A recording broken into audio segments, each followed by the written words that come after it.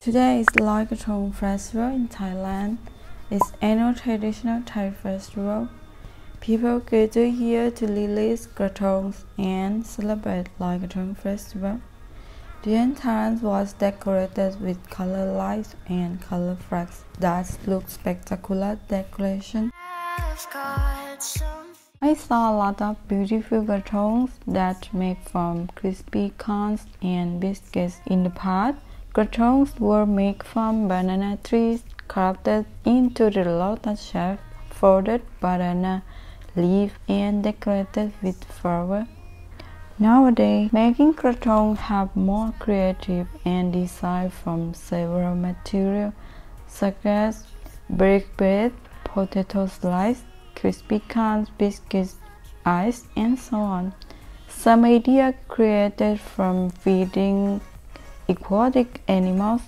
However, traditional krathong can still be found for sale in the main festival sites. During walking throughout the festival area, I was really hungry because there are a lot of food shops for shopping and eating.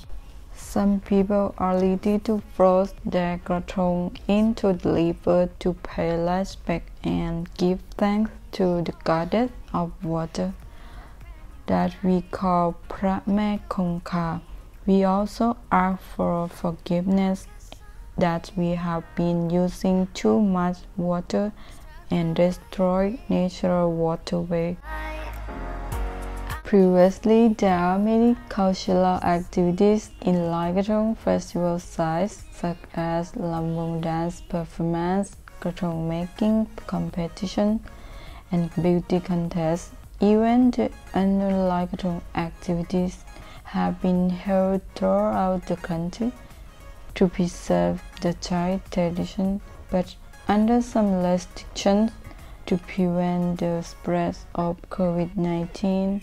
This year we celebrate with our recreational activities.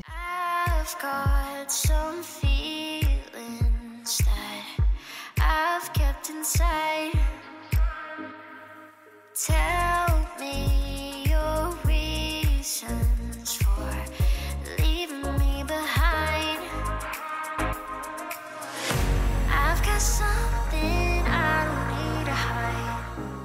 Loy Krathong Festival is celebrated in evening of the 12th full moon of the Thai lunar calendar. It usually falls in the month of October or November. Therefore, the Loy Krathong date is not fixed. It changes every year depending on the full moon. This year it takes place on 19 November.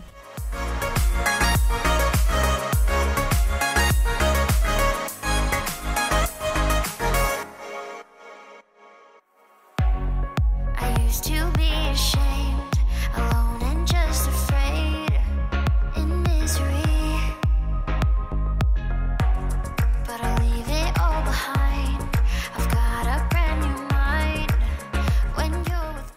got a beautiful krathong from festival area before releasing. I pray for the goddess of water to bring me a good fortune and having enough water for consumption all year round.